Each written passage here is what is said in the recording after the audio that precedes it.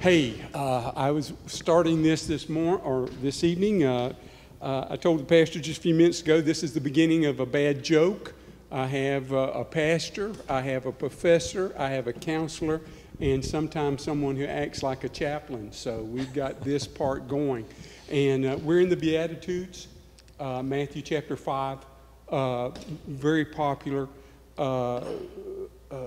very exciting to uh, preach through, very exciting to teach through, very exciting to counsel through uh, as well.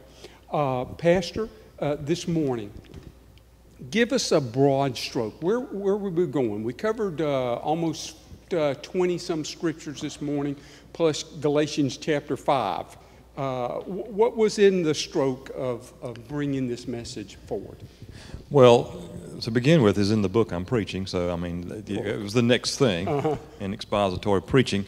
It's the antithesis. Uh, there's six antitheses in the in the passage before us, and it's the you've heard it said, and, and this is not rabbinical teaching. It's it's from the from the law. Right. And so Jesus is giving us the greater righteousness, and He is the only one who can fulfill the greater righteousness. And so the point was okay, if Jesus is the fulfillment of the greater righteousness, then how do these antitheses instruct me in my ethics as a, as a Christian? Well, obviously, again, I can't, I can't become a Christian by keeping these. I don't believe that I'm sanctified by keeping these. Um, and I'm, I'm sure we'll talk more about that in a moment. So, what purpose do they serve? And again, I think they serve a purpose in showing us the characteristics of the kingdom and characteristics of kingdom people. And that's why I took it to Galatians 5, where he says, I started out with 514, the, the foundation of the law is love. We know that uh, the, the, Jesus gave us a commandment. He said, I want you to, this is a new commandment I give you, that you love one another as I've loved you. And so I think as you look at the antitheses and, and you see how the letter of the law is, is now coupled with the spirit of the law or the intention of the law, coupled with the person who exemplifies both letter and spirit, then we, we get an idea of what the kingdom itself is like because we get an idea of what the king is like. Okay. As you as you looked at the scripture, and I always ask you this each each week, each week, and you started to say something in your sermon. Uh, what did you discover anew or something that just stood out at you and said, Wow, I, have not seen this, or it's not presented itself this way to me before? Well, as I come from a New Covenant perspective, I, this, this sermon is fascinating to me because I think it's been misunderstood and misapplied for years. But in, in studying it this time, it's pretty much consistent with, with other studies in the recent past, except for the when he talks about loving our enemies, and how that God exemplifies loving your enemies by sending rain on the just and the unjust alike. Is that verse 45? Uh, I think it is. Let's see here. Yeah, it's verse 45. Uh, for he causes his sun or his sun to rise on the evil and the good. He sends rain on the righteous and the unrighteous. Okay. And so again, God is the exemplification of what he what he says in these six things. Okay, all right. Uh, brother, brother Ken, what jumped out to you this morning as you were looking at that sermon, as you were studying? Well, and it was a fantastic sermon, by the oh, way. We we uh, have my sermon notes here, and and the family as we were listening and watching, and we would actually even you know benefit sometimes of being home pause, and and what does that mean to you? What does that mean to you, and how we're able to do that? And where the thing that we kind of took was that as fallen man, we seem to think that at times there's boxes that we can check off and we are fulfilling the law or what we're supposed to do as, as, as Christians and how that's, that's man, that's fleshly man, and that's not divine. And so, as wife and kids and I were sitting there talking, we started uh, examining ourselves, and we we kind of talked a little bit and said, you know, this isn't, um, there aren't scales that, that and, and people seem to at times think that's the way. It's scales of justice, you know, they have to be equal. There is no, there is no scale. If there was, we would, we would never measure up to what we're called to do and especially when you look at the things that uh, I mean, we could all probably say, well, "Yeah, murder, that's not me," but lust or envy or great some of the other aspects of this, they really speak to us. And as people and as fallen Christians, we tend to migrate towards those things that are are not of the spirit, but are of the flesh. And so, for us this morning, that was a great discussion that we were able to have with our family again about the the the flesh and what our flesh pulls us to do, which is wrong, versus the spirit and the spirit of the law, which has called us to be Christ-like. Okay, Brother Dan.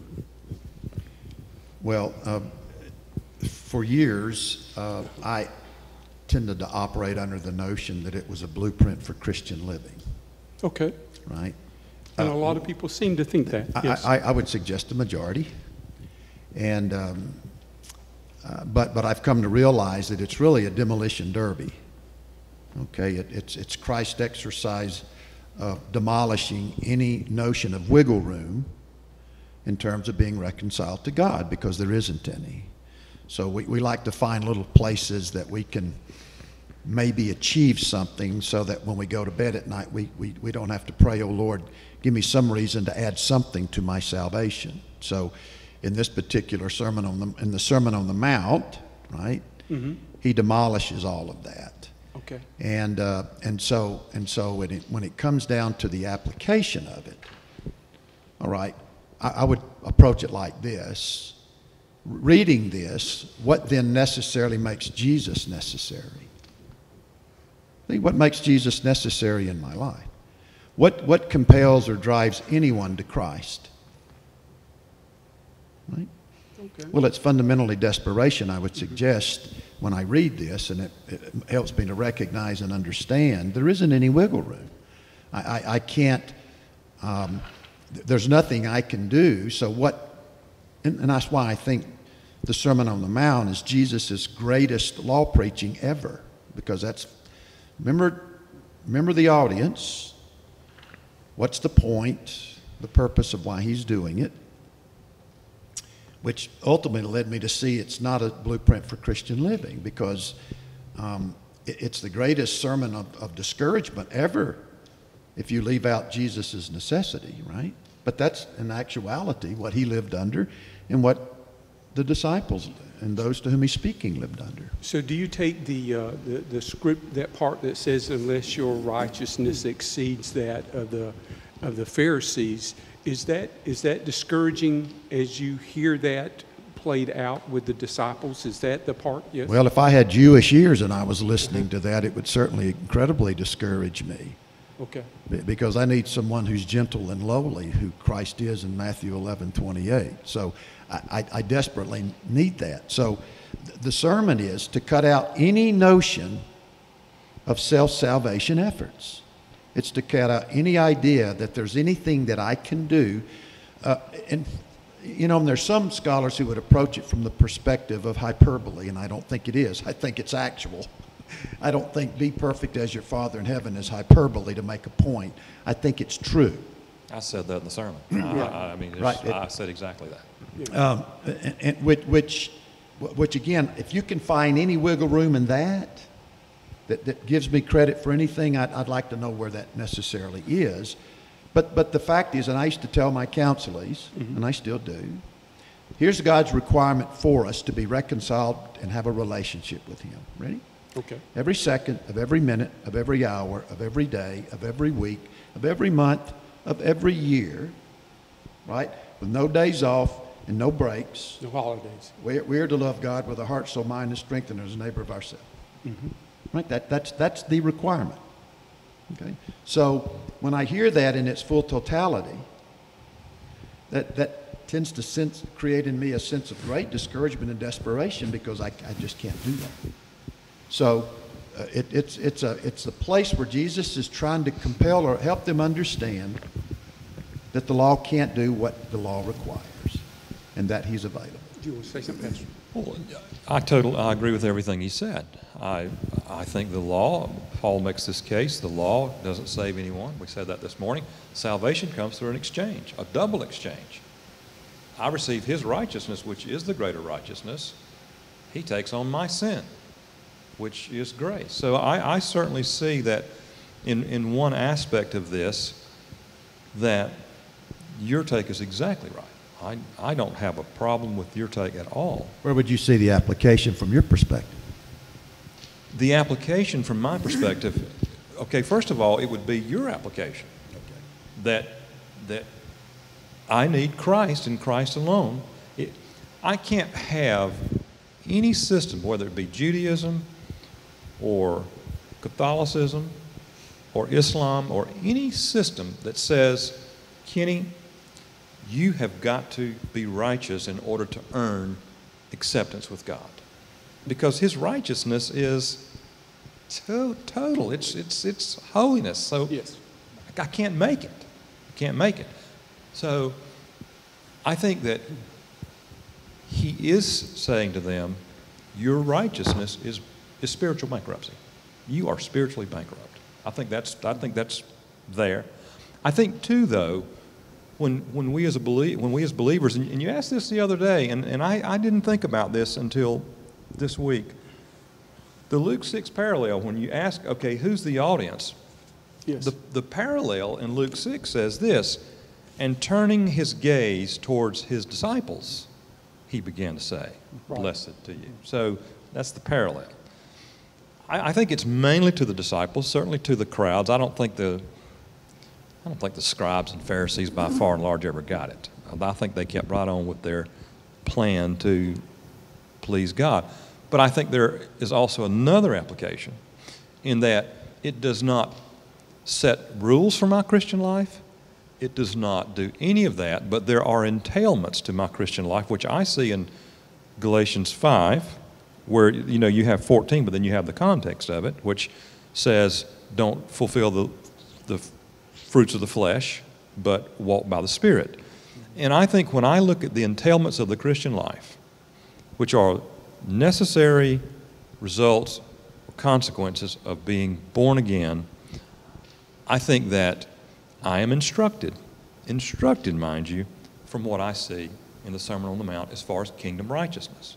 Again, I'm not trying to live up to kingdom righteousness, but I am instructed, and I think Paul, and this is another thought I had, and I don't mean to take too much time, Pastor, it's your, it's your church.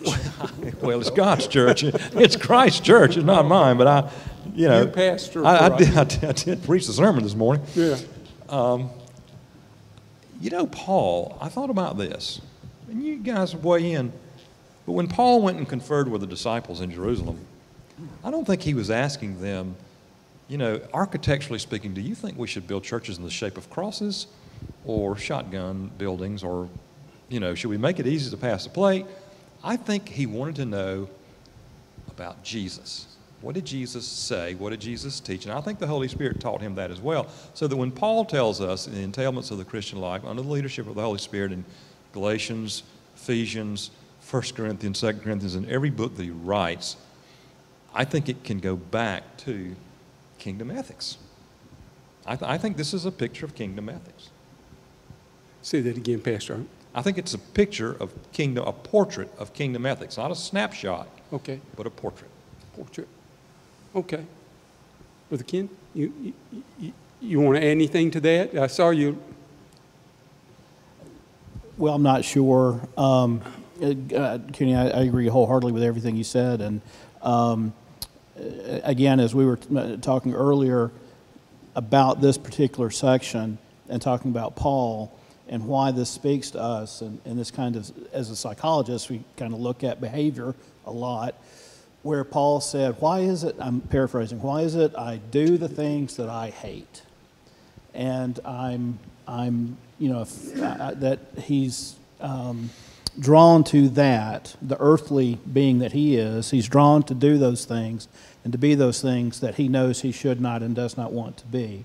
So recognizing that behavior, um, and, and kind of to take Kenny apart of, of what you said about the ethics, when we look at ethics, when we look at someone like Paul, we'd say, all right, uh, with, within ethics, there are standards and principles. What do you stand for, and what is your discipline? And Paul's just saying the things that I stand for and the discipline that I seek, I cannot, I have not meet, but I'm drawn to that.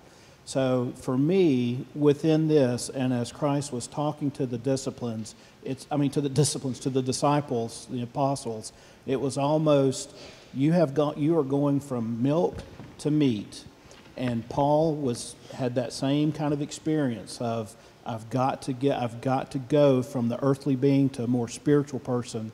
That that was the same experience that Christ was when he was speaking to this at this time to this group. It was a maturity. It was change in behavior to grow, to learn, to replicate and be a Christ-like and walk like Christ in the path that he was walking. that, that scripture and in Galatians, Galatians, uh, just the whole book of Galatians, talks about, probably on 14 different occasions, talks about the work of the Holy Spirit. Uh, I, I, I, I think we're, we're talking about something, yes, uh, that righteousness is, is very difficult And I think it's unattainable uh, now. Yeah. Yes, I think in heaven it won't be, won't Christ-like be righteousness, but it's not, it's not something that we should not be, You shouldn't strive for. I mean, you still we strive should be growing towards. We should be, Well, it's the, actually, it's the starting point. Uh, it should be a, a, a a growing part of our, our daily lives. And you ask a question in your sermon, how do I know?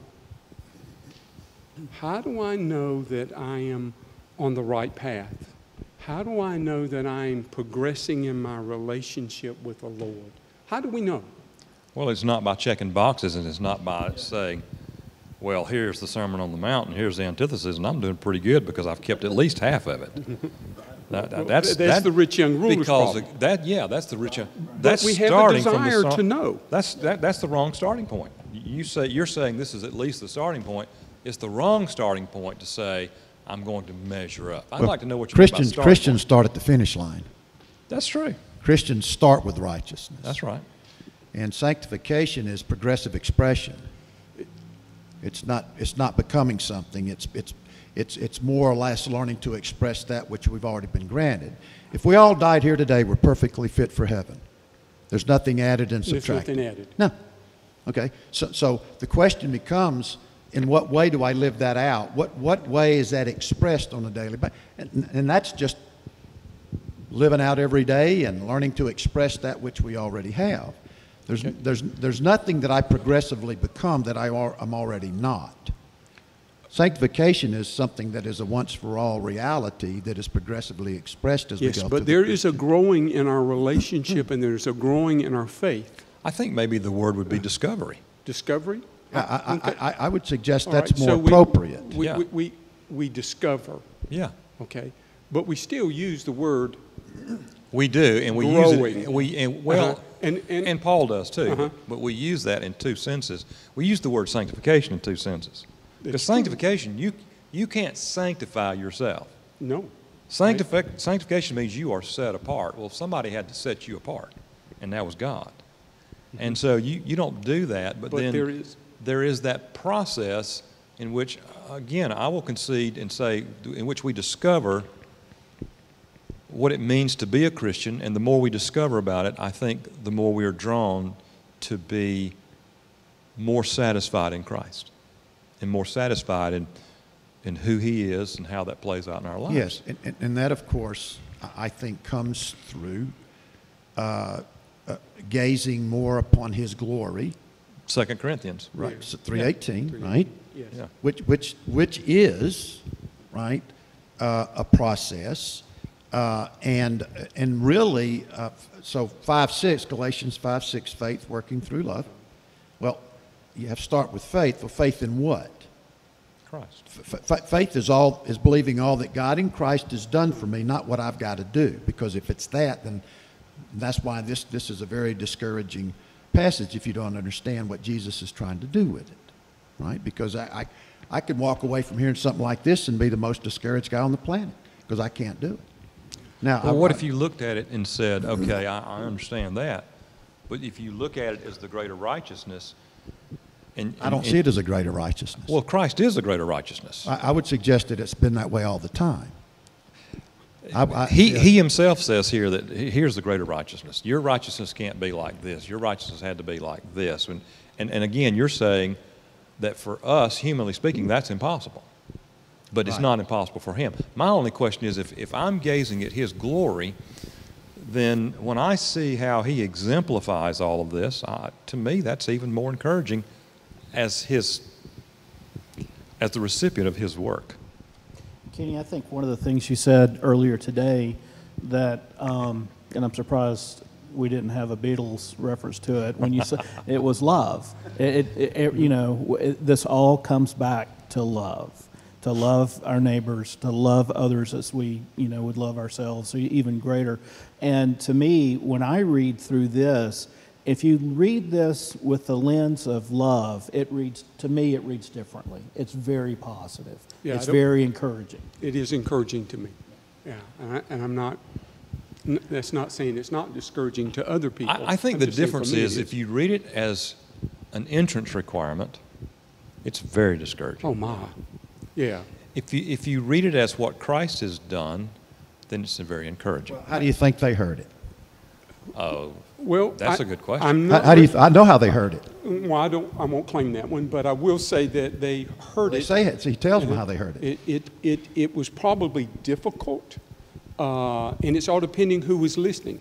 I mean, to the, to the scribes and Pharisees, it probably irritated the mess out of them. Uh, How can anyone be saved then? That's how they heard it. How then can anyone be saved? And what did Christ say? With man, it's impossible. Possible. With, With- with God, all things are possible. right. That's how they heard it. Yeah. Mm. Same way. That's why I say what makes Jesus necessary. and- and what makes him necessary? to me, that's the that's the most provocative thing of what you're saying because what Jesus what makes Jesus necessary, and not only necessary but exclusive. I mean, there is no other way. way. He is exclusive. I mean, he is, let's say, essential. Well, when I I was reading through, uh, going through Hebrews again the other, other day, and um, just reading the first two chapters of Hebrews, kind of, and along there, Colossians 2, you see this incredible exclusivity about the fact that here's one whose very word holds the universe together. Now, last time I checked, I don't know of any other religious figure whose word holds the universe together or through whom God created all things and who is the exact nature of God. And I mean, you, you see those, and so you realize and understand the, the profundity of that. Uh, so, he, and, and that's why the, he's necessary in that. He's the only one that can, that can meet the requirements. And, and to do that lovingly and sacrificially and even delightfully on some level. Yeah. Uh, but, but, but it's exclusive to him because he's the only one that could do that. Yeah, and and not just because of his omniscience and omnipotence, but because of his holiness, because of his, I- for use it for lack of a better word, because of his moral perfection. I mean, he's the only one who could, who could, is the word writer of Hebrews says, create access. Passover. Exactly, Yeah, he's the access to God because nobody else can do that. Yeah, there, there's no doubt when this was when when when Christ did this, it was radical, and there were those within the within earshot that were probably you know, oh, this is blasphemous. How dare he? And and I'm sorry. No, no, no. the- you- you- Not only was it radical then, but it's, it's radical, it's radical now. Yeah, I because mean- natural man is natural man. Oh, Right. oh, yes, because natural man and the world that we live in uh, makes this r- radical stuff because the nature is to sin, N- The natural man is religious too. likes rules. likes rules, likes likes to think he's somehow. I mean, it's almost like the military. Worthy I of love God. the military because it's rules. Follow A, B, C, and you get this right here. I mean, it's just part of of uh, a, a great life, if you want to say it that way. Uh, the hard part is when there is no, there's no rules. Well, and, and that, that inevitably is why the gospel is counterintuitive. Yes. Right. Everything about it is counterintuitive because we're easily led down a pathway. This is if I do this, this, and this, then there's necessarily a positive Yes. consequence at the end of it. And so, right, so the gospel is so counterintuitive. It's, ju- it's, it's so, uh, and that's in a sense what makes it glorious. And that's why when you read 1 Corinthians 2, right, that's why no wisdom from man will get you to God. It's just not going to happen. Right. There's no wisdom on the planet just that will get us to God. Right. Uh, But we have this legalistic and a license, and in between them is what? Is this where we find liberty? Is this where we find the grace? See, I think there's a difference between, okay, Paul says in, in the Galatians 5 passage, Okay. you're free. Well, free from what? Well, free from the law. Okay? Also, he says you're in Romans 6, you're free from sin. Sin. Sin will not have dominion over you. There, there's a great deal of freedom as a Christian, but then he says, don't turn your liberty into license. I mean, that's, I paraphrase there, of course, but don't, don't turn your freedom into the opportunity for, for sin. Shall we go on sinning? God forbid. May it never be. Yes. Yeah, so it, it's like Jerry Bridges described it like this. You, you have the gospel, and you have legalism on one. It's, it's like, okay, as a roadbed, like you're going through the Everglades, and there's this roadbed, and it's, the, it's, it's grace, okay, because the gospel is the message of grace. It's grace. On one side, you've got the swamp of legalism. On the other side of the swamp, you got antinomianism. And, and the gospel is neither. It's neither. It is counterintuitive. It's radical. Because it's God's grace, by God's grace, we are saved. No, ourselves a gift of God. Mm-hmm. All right. What else we need to cover on this? Let's go through those six laws real quick. Or was it three laws? The sixth Well, yeah, commandment, the there's- seventh commandment? Let's talk about that. Let's talk about a little bit of anger. Who wants to jump out there? I don't know anything about it. I, I don't think we have the time. Oh, come on, guys. I, I think uh, Robin hadn't even stood up yet. I, th- so I think, uh, really, as a pastor, and then I know these guys both deal with it from the psychological and counseling aspect. I don't wouldn't think ethics would be so much concerned with anger. Maybe it is. I'd like to hear what ethics has to say about anger, but but I think anger is a major problem today. Uh, it, it's a major problem not just in our culture, but in relationships. I mean, people carry their self-interest. If if you if you come against my self-interest and you deprive me of my rights, I'm very angry. angry. Yeah. Okay. Well, uh, anger in and of itself, and I think you said this, Kenny, isn't necessarily terrible. People get angry. You, I think you even mentioned, you know, Christ got got angry and Yeah, and, and and turned tables and others. So anger in and of itself is a natural emotion, along with being happy and sad and and, and everything else. It's what we do and how we how we um, manifest our anger. Is it through you know peaceful means or resolution, um, uh, meditation, prayer, forgiveness, or is it through you know um, an an action that is meant to be hurtful? And that's you know I, th- I think we were kidding earlier about retribution and, and things along those lines. Um, so anger, um, and I know you've, you've had to deal a lot with this, and any, any counselor has to deal with anger. Um, when I think about uh, what makes me angry, um, I have to also think about how, when I am angry, how I deal with that.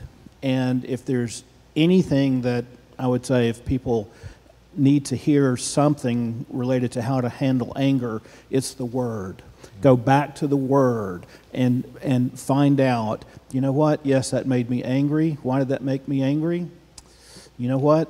God calls me to still love that person, even though what they've done or what they've said or didn't do has made me angry. I'm still to love that person, and I'm called to love that person. And it's not easy. In fact, I'd say it's extremely hard in some regards, um, very challenging. But you know, the anger can become a, a anchor, and it can become a big uh, thing that we carry around with us. And when I teach, when I talk to kids, and we actually, kids as students, when we talk about emotions and we talk about anger and happiness, um, I'll have them do an exercise, which will be basically what makes you angry. Now, how do you release that anger? And for them to kind of go through and understand that. And the hard question that I'll ask them then is, who have you made angry? And once they start that self reflection, they kind of start looking at forgiveness. Well, I sure hope I know I made my dad angry when I did X, Y, Z. I sure hope my dad or my mom or whatever will forgive me for that.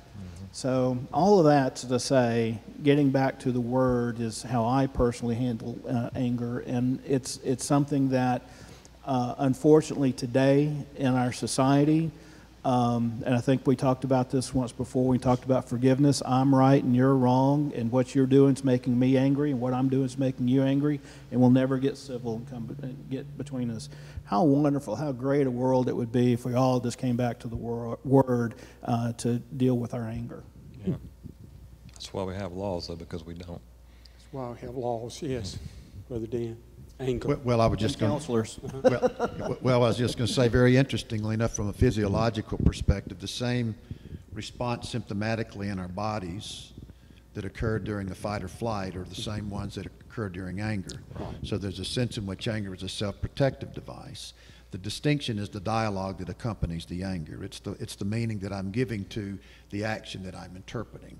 So um, pr- pretty much there's a dialogue around anger. You shouldn't have done that. You ought not do that. That was unjust. That was unfair.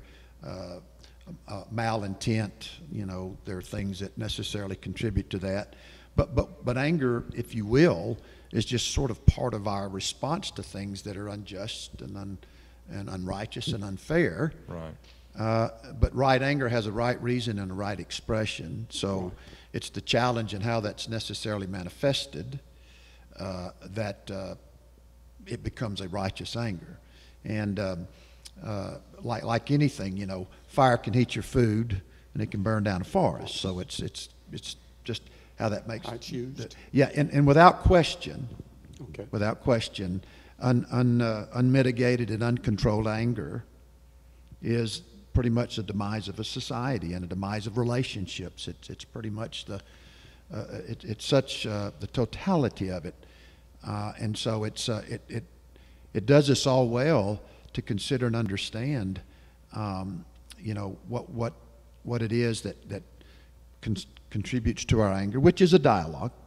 Okay. Okay, it's a dialogue. It's not what someone does. It's the dialogue that we meaning we give to it In our own mind in our own mind. Yeah, we, we, that that belongs to us. Um, because if it didn't, then we don't have any control over it. So that would be a problem too. So, so physiologically speaking, as you brought this up, and, and you have a medical background, as Supposedly, you're, you're yes. a man of many Yes, hats. sir. But okay, with the fight or flight, the ad- the adrenaline rushes, but it's it's used because you're you're either fighting or you're or you're running. But anger doesn't dissipate it, and so it's stored up. And I, I, my understanding is that's very harmful to your body physiological, Hmm. physiologically. It is. It is. And um, anger, stress related to those things definitely can cause a lot of problems within physical problems Yeah. and mental problems as well. Yeah. Well, and there was a time along the way in psychology where the the understanding was that I need to I need to express it and get it out. And what they've discovered is it reinforces it.